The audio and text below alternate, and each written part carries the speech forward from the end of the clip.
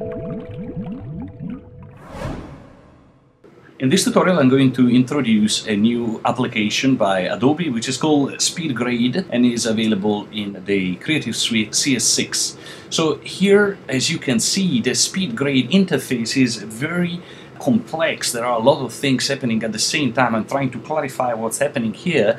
As you can see on top, we don't have any drop-down menu, but everything is already integrated in the same user interface. And if my selected tab is monitor on the top left here, I can't see anything. That's because I have first to move to desktop just beside and in desktop view I will be shown all the items available on my desktop, including videos, of course. So I'm going to double click one of the videos and I will start grading the color of these video using the new SpeedGrade software.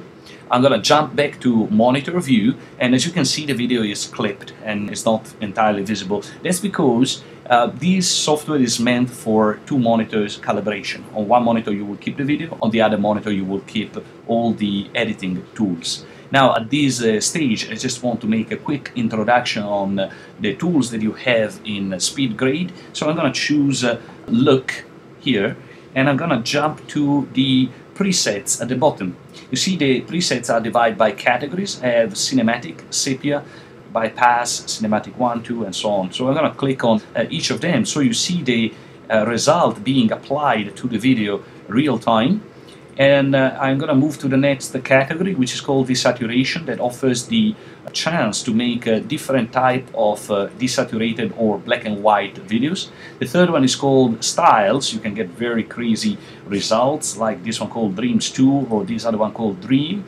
And uh, the last category is called temperature, and this one works on cold or duotone or cold mix and so on. Now I want to reset everything, so I'm going to jump into the layers panel on the left and click the reset button and I'm starting with the customized editing. As you can see, the software has three different type of editors, the color wheel mode, the slider mode and the edit box mode. The interface is designed in such a way that when you are working with the sliders or with the color wheels, the interface is uh, not available. You know, those grayed out type of buttons. But if you go closer and you move your mouse on it, it's actually already active. I'm going to jump to the edit box. So in the edit box view, I will be jumping to overall and I will hold down shift on my keyboard to make more uh, sensitive change and I will increase the contrast and you see the video react uh, immediately as soon as I let the mouse go.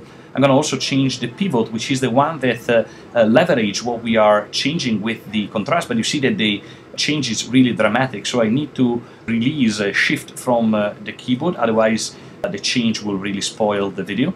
And I will also change the input saturation, which means that I will remove the overall yellowish that, that was captured when I recorded this video. I'm going to carry on editing the contrast and uh, editing the temperature of the video by decreasing the yellow and also change the magenta overall. I can uh, also edit the final saturation in order to output the video. This is my final result. So just to recap what I've done, I've changed the input saturation, I've then changed the contrast together with the pivot, and then I moved forward towards uh, temperature and magenta, and finally I edited the final saturation, and this is the final result that I've achieved for this video.